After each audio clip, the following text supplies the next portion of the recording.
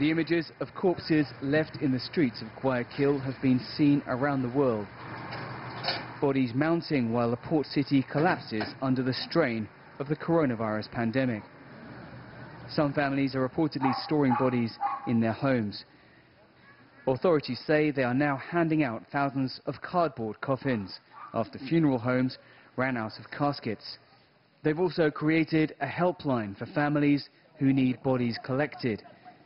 Soldiers and police have been brought in to help forensic workers who say they're recovering up to 150 bodies a day from the street or at homes amid the tropical heat.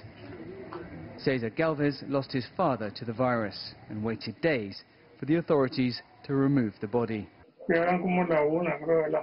It was 1 a.m. in the morning. They did not have ambulance. The firemen were not available either.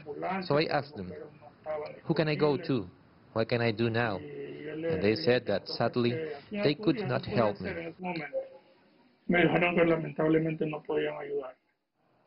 Others resorted to leaving bodies in the street as Guayaquil became the regional epicenter for the pandemic. Hospitals, morgues, funeral homes and cemeteries were overwhelmed by the number of deaths.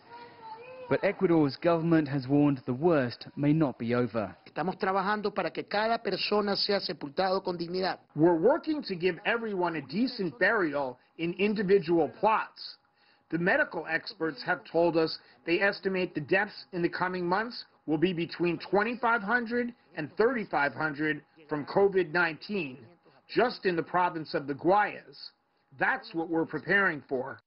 Para que eso no, nos estamos preparando. Para eso nos estamos preparando.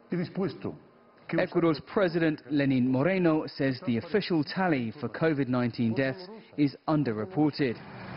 Low levels of testing suggest the true figure is much higher. Dan Collyns, CGTN, Peru.